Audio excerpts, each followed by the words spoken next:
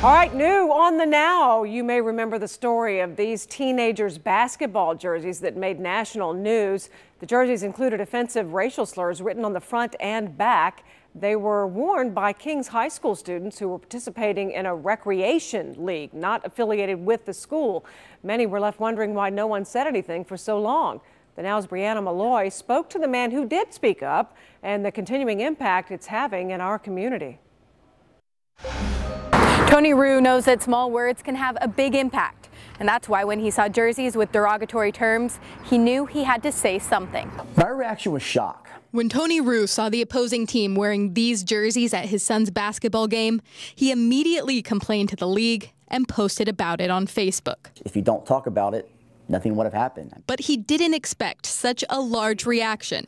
The team and the jerseys were banned, social media comments got heated. You know, people threaten your family and stuff, so it was it was a little nerve-wracking time. And across town, it caught the attention of other groups. I have a gut reaction when I when I see these sorts of hateful things happening. Jackie Congedo with the Jewish Community Relations Council says minority organizations had talked about joining forces for a while. There's the need to um, to be proactive about this kind of thing.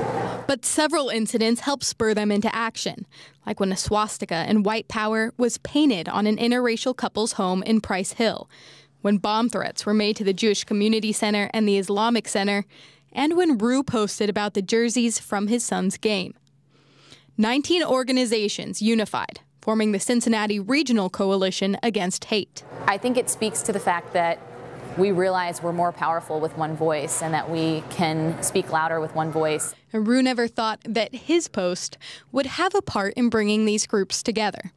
A reminder that small words can hurt, but they can heal too. It's, it's like a like a wildfire, in, but in a good way.